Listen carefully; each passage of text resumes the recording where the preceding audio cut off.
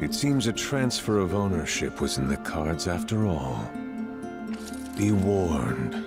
That which appears a mere pastime is shrouded in darkness. I suggest you proceed with caution, lest it consume you too. The situation is graver than I feared. Here, she'll guide you to the Queen.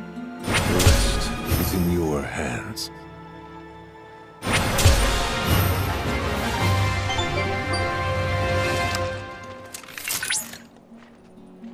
I see you successfully obtained the Emerald Witch.